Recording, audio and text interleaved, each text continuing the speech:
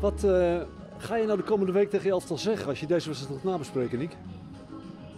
Nou ja, eigenlijk een beetje hetzelfde als wat ik eh, in de andere wedstrijden gezegd heb tegen ze die we verloren hebben. Het lijkt wel een blauwdruk uh, daarvan.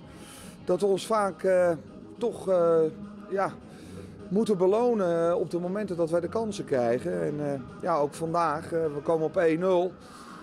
Na een stroef begin en dan moeten we voor de rust moeten we uitlopen naar 2-3-0 en dat laten we na.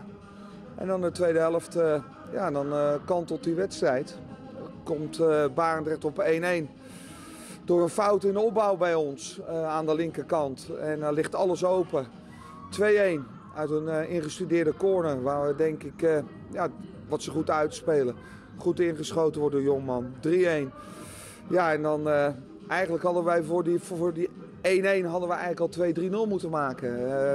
ook in de tweede helft. Voetbal jezelf wat makkelijker. En ja, het is het verhaal van de kansen benutten.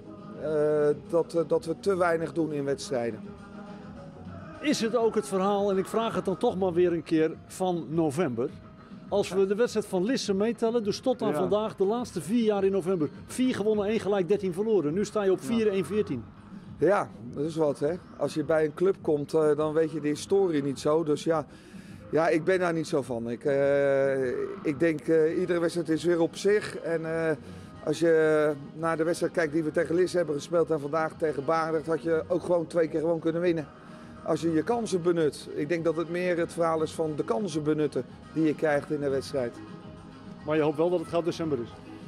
Nou ja, er zijn hier supporters die zeggen van gelukkig spelen we maar drie wedstrijden in november en niet vijf. Dus ja, zo is het hier wel geworteld.